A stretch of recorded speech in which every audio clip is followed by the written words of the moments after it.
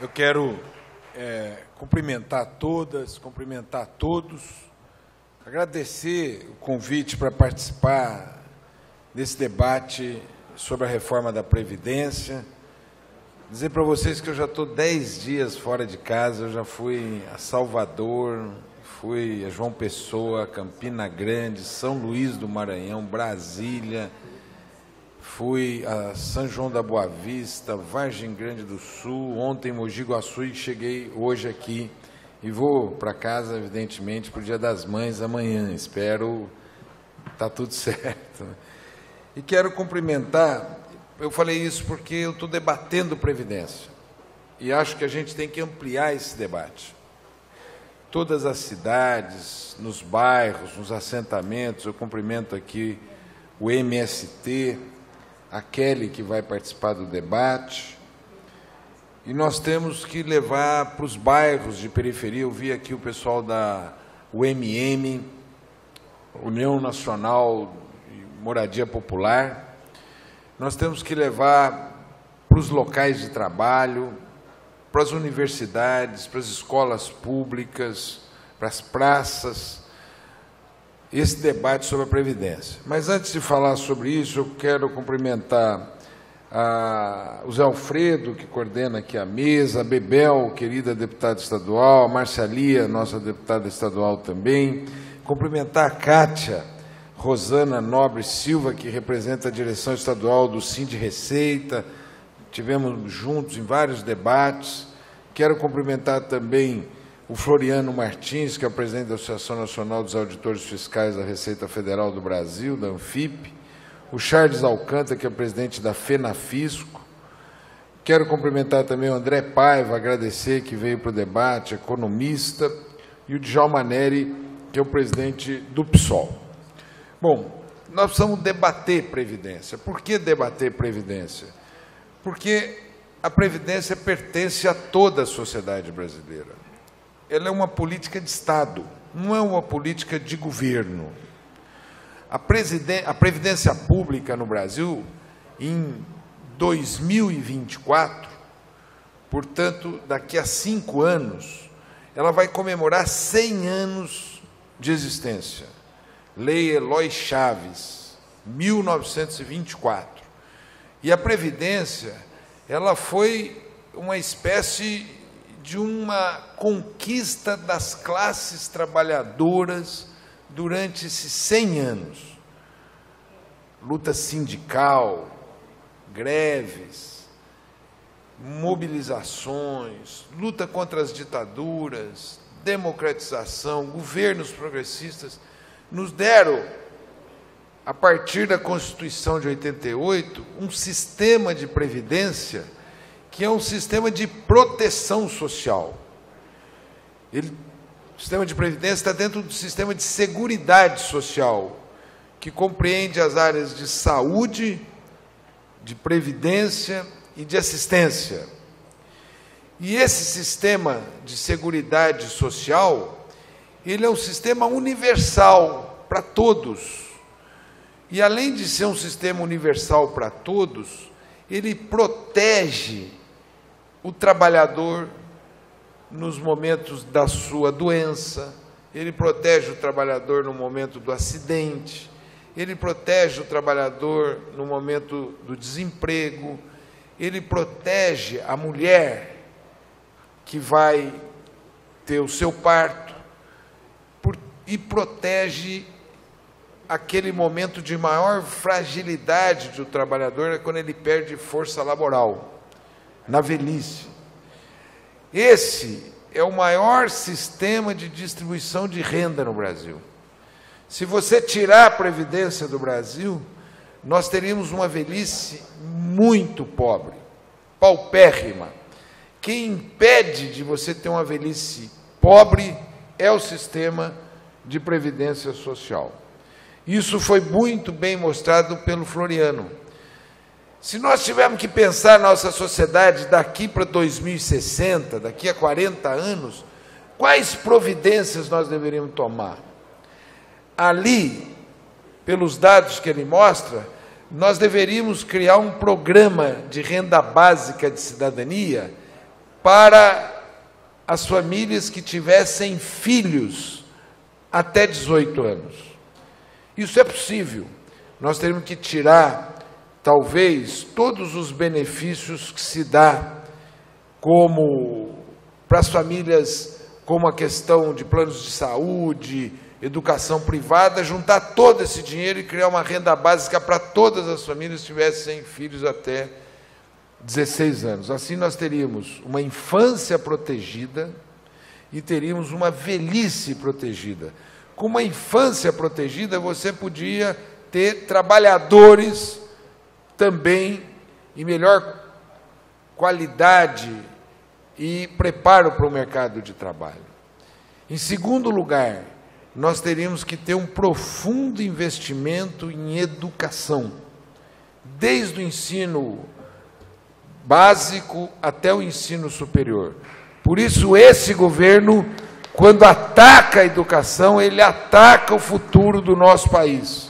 Quando ele congela 30% da educação do ensino básico até o ensino superior, ele ataca o futuro.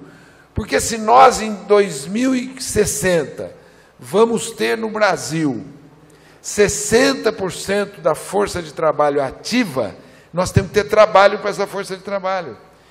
E como você vai ter trabalho para a força de trabalho? Se você tiver indústria, se você tiver uma economia sofisticada, empregos industriais.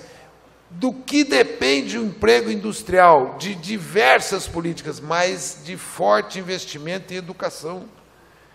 Esse é o desafio, e nós temos que ter em 2060 uma velhice protegida. O que, que o governo Bolsonaro faz? Ele não toma nenhuma iniciativa para gerar crescimento econômico, geração de emprego e distribuição de renda. Nós precisamos hoje criar as condições para o Estado brasileiro retomar as obras públicas na área de energia elétrica, na área de reforma de estradas, na área de produção de moradia, de saneamento básico, de reforma agrária. Com esses investimentos, você atrai investimentos privados, aquece a economia, gira o dinheiro, gera empregos formais distribui renda. Esse é o desafio de 2019, investir em educação pública. Esse é o desafio. Mas o que faz o governo Bolsonaro?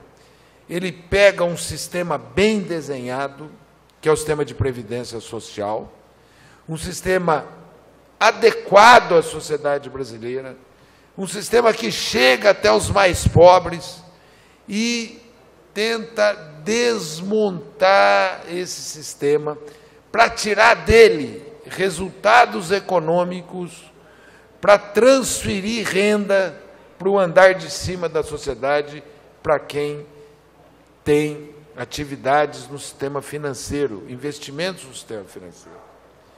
O que é o sistema de previdência brasileiro?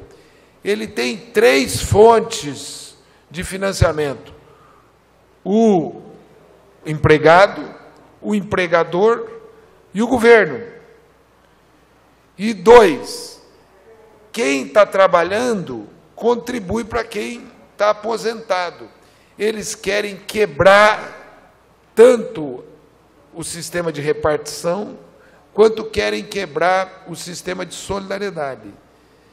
E tirar um sistema que é público e privatizar esses sistemas e jogar na mão dos bancos.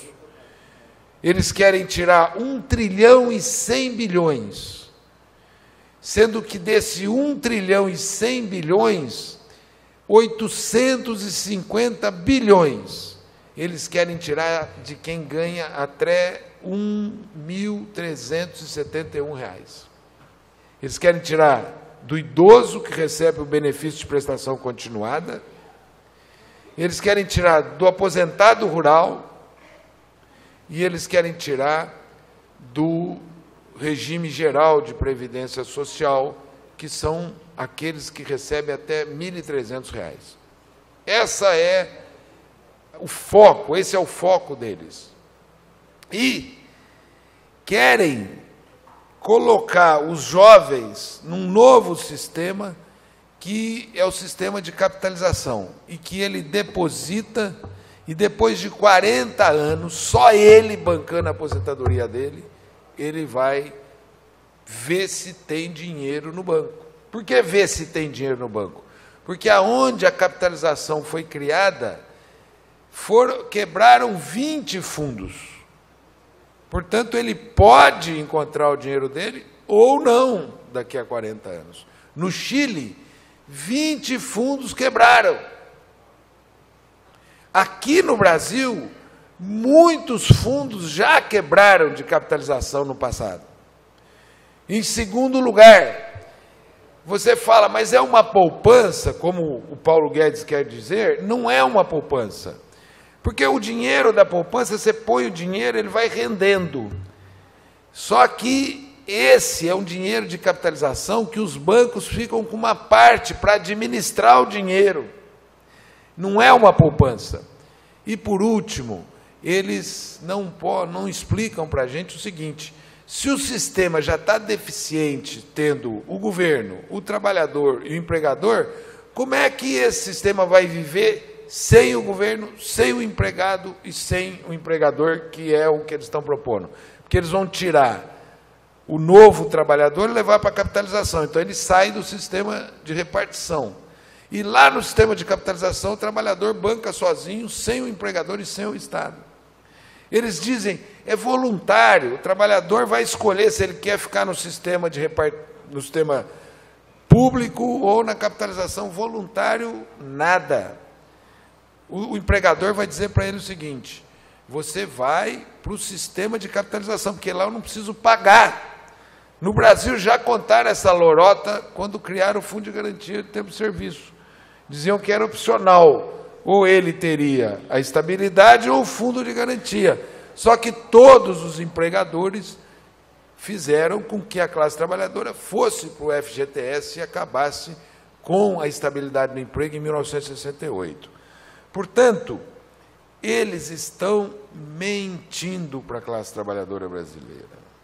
Esses seminários são importantes para abrir os olhos dos trabalhadores, porque você acorda, toma o café, almoça, trabalha, janta, até dormir, eles pagaram propaganda para defender essa reforma da Previdência. Agora contrataram os grandes comunicadores desse país a preço de ouro para defender a reforma da Previdência do Jair Bolsonaro. Eles dizem o seguinte: vocês querem ou não querem reforma? nós dizemos o seguinte: como parlamentares, já participamos de três reformas. O Lula instituiu o teto da Previdência em 2003, do regime geral. A Dilma transferiu esse teto do regime geral em 2011 para o regime próprio dos servidores.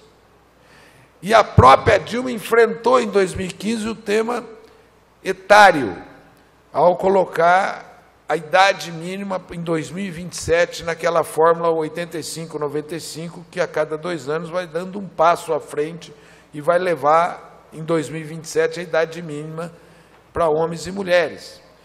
Então, reforma nós sabemos fazer. Agora, o que, que nós não queremos?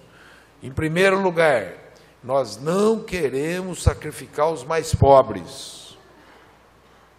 Em segundo lugar, nós não queremos estigmatizar e demonizar os servidores públicos, porque eles são importantes para o Brasil e, ao fazer a opção de ficar no serviço público, tem que ser remunerados por isso. Em terceiro lugar, nós não queremos destruir o sistema público de previdência para privatizar e dar essa poupança para os bancos. Aliás, o sentido da desestabilização do governo Dilma é exatamente o interesse do sistema financeiro em ficar com as poupanças públicas e tirar direitos. O que, aconteceu depois da derrubada da Dilma? Em 17, criaram a PEC 95, que congelou os recursos públicos e o superávit fica para os bancos, para pagar juros. O que, que aconteceu depois de derrubar a Dilma? Reforma trabalhista, que sob a promessa de criar novos empregos, não criou um emprego a mais, mas deprimiu o salário dos trabalhadores.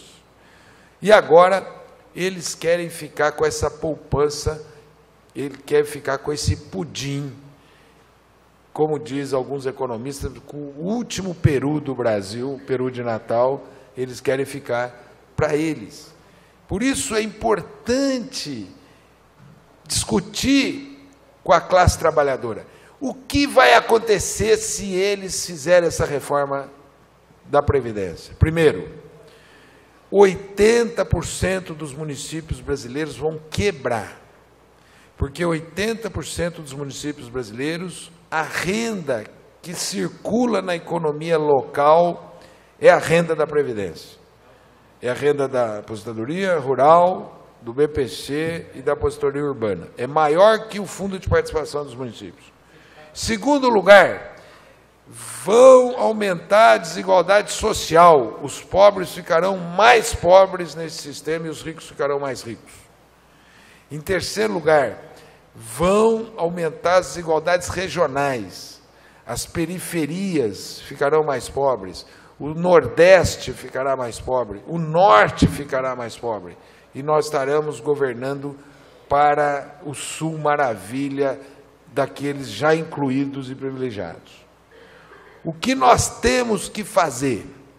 Nós temos que discutir o seguinte: quais mudanças que têm que ser feitas na previdência e na tributação. Na previdência, foi muito bem falado aqui pelo Floriano. Nós temos que tirar as desonerações. Ele estimou ali em desonerações cerca de um trilhão, não foi isso? Nós temos que tirar as desonerações. Sabe quem não paga a previdência? O agronegócio exportador. Eles estão, é, o, é a coisa que mais está dando dinheiro no Brasil. Se você for ver a fronteira do dinheiro, está no centro-oeste, no agronegócio exportador. Ele deveria pagar previdência. Então nós temos que tirar as desonerações, que se você tirar 100 bilhões ano, em 10 anos você tem o que eles querem economizar. Mas vamos dizer que você não vai tirar todas. Se você tirar 60 bilhões ano, em 10 anos você tem 600 bilhões para a previdência social. Em segundo lugar, hoje a lei no Brasil não cobra o devedor adequadamente. Vamos mudar a lei para o devedor falar: não, não vou dever mais e vou pagar a minha dívida, senão eu vou perder a, o, a fazenda, eu vou perder a fábrica, então eu tenho que pagar a minha dívida. Você tem que ter uma lei de execução fiscal com unhas grandes, porque essa lei de execução fiscal não tem unhas grandes e por isso muita gente não paga o seu, a sua dívida. Terceiro, nós temos que cobrar uma taxação que não pagam no Brasil imposto de renda quem investe no mercado financeiro e recebe lucros e dividendos. O, a taxação de imposto de renda ou criar uma taxação própria sobre lucros e dividendos e destiná-la à previdência social. Vai pegar só o andar de cima, não o andar de baixo. E ela é importante. O Brasil e a Ucrânia não cobram imposto de renda de lucros e dividendos. Nós teríamos que cobrar.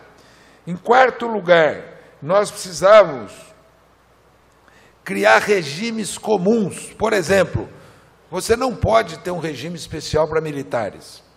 O Bolsonaro falou em combater privilégios, combater privilégios, e manda um projeto para os militares que ampliou os privilégios militares. É claro que quem vê a composição do governo dele entende as razões dele ampliar privilégios para os militares, porque ele está cercado, ele está sitiado no governo dele, a começar do vice, que conspira diariamente contra ele. E nós temos que colocar o conjunto dos servidores debaixo do teto. Vocês viram lá o dia que o Paulo Guedes foi falar? os deputados que defendem a reforma começam a falar salário de juiz, aposentadoria de juiz, 60 mil, 70 mil, 80 mil. Aquilo é fácil, vamos botar todo mundo debaixo do teto. Vamos resolver isso. Aliás, eu nunca achei que alguém pudesse ganhar acima do teto, tendo em vista a Constituição. Mas existe. Vamos acertar. E vamos refazer o que foi mal feito na reforma trabalhista que levou a maior informalidade no nosso país. Essas propostas nós concordamos. E por último, abraçar essa agenda que está sendo proposta aqui pelo Sindifisco, que é a agenda da reforma tributária solidária. O que, que acontece no Brasil? No Brasil, paga imposto pela estrutura tributária brasileira, o mais pobre, que ele paga imposto sobre o salário e sobre o consumo. E o mais rico não paga imposto. Ele não paga imposto sobre lucros e dividendos, ele não paga imposto sobre grandes fortunas, grandes heranças. A tabela de imposto de renda, ela para num, numa alíquota que não pega grandes salários, nós temos que fazer uma reforma tributária que desonera quem está embaixo e onera quem está em cima. E é por isso que eu vou concluindo dizendo que nunca o Brasil precisou de um esforço extra de cada um de nós. É por isso que eu comecei dizendo que eu estou há 10 dias fora de casa, Bebel. Todos nós agora vamos ter que ter um trabalho pedagógico, um trabalho de conversa, de rodas, de diálogo, de debate na nossa base, de diálogo com os trabalhadores, para que nós consigamos abrir os olhos da classe trabalhadora do desastre que representa para ela esse desmonte do sistema previdenciário. É um desmonte do sistema previdenciário. Tem aí propostas de colher assinatura num abaixo assinado. Tem, junto com isso, banquinhas que as pessoas têm feito de calcular com um aplicativo do DIESE a aposentadoria da pessoa, como ela, aposentadoria, como ela iria se aposentar no regime atual e se tiver as mudanças, como ela se, aposentadoria, eh, se aposentará. Tem também debates que se pode fazer nos bairros, e tem tanta gente preparada e disposta para fazer nos bairros e nas cidades. Eu acho que dia 14 agora, dia 15 de maio, todos temos que ser solidários aos professores. Mostrar que esse ataque que estão fazendo à educação, ele tem dois objetivos. O primeiro objetivo é desmontar o ensino no Brasil. E o segundo objetivo é transformar o Brasil de novo numa colônia que produz produtos agrícolas e minerais e não produz indústria e empregos sofisticados para o nosso Brasil. É a vinculação Bolsonaro-Trump Interessa aos Estados Unidos que nós sejamos importadores de produtos sofisticados deles e não que nós sejamos uma potência industrial. E é por isso que eles estão, inclusive, privatizando parte da Petrobras, parte do Banco do Brasil, parte da Caixa Econômica Federal e vendendo na bacia das almas o nosso patrimônio público. E nós temos que preparar a sociedade brasileira e a classe trabalhadora brasileira para, em junho, as centrais sindicais darem uma resposta contundente a essa violência. O que paralisou a reforma da Previdência do Michel Temer foi a greve de 2016. E nós temos que fortalecer a classe trabalhadora. E é por isso que o Bolsonaro ataca os sindicatos. Ele vai no peito dos sindicatos para enfraquecer os sindicatos. E é por isso que o Lula está preso. O Lula está preso porque se ele não tivesse preso, ele seria presidente da República, e continua preso porque se estivesse solto, ele fala, o povo ouve e resiste. Então nós temos que organizar o povo brasileiro na resistência. E eu termino dizendo o seguinte: precisa constranger os parlamentares. Precisa ir para cima dos parlamentares, botar faixa na cidade, fazer aplicativos, ir para cima dos parlamentares, ir no escritório dos parlamentares, mobilizar, fazer concentração, para dizer para o parlamentar o seguinte: se você votar, você não terá votos mais no nosso país. Você que escolha, você vai ficar com os 45 milhões que o Bolsonaro quer te dar, você vai ficar com o voto e a credibilidade que o povo possa te dar ou te retirar. Nós temos que fazer um processo de constrangimento àqueles parlamentares que piscam para o governo. Agora é hora de fazer cara feia, tá certo? Não. É hora de dizer não. É hora de dizer não aceitamos. Né? Um governo que, ao invés de discutir emprego, quer armar 20 milhões de pessoas. 20 milhões de pessoas, uma milícia esse governo quer criar, um governo autoritário que não submete matérias importantes mais ao parlamento, e sim quer governar por decreto, um estado de exceção que eles querem criar e nós temos que recuperar a vigorosa democracia que nós construímos em 88 e que querem tirar das mãos da gente. E é por isso que eu acho que o Brasil está precisando de um pouco mais de cada um de nós para dar uma resposta à altura a esse grupo de milicianos que resolveu tomar o poder no nosso Brasil. Obrigado, gente.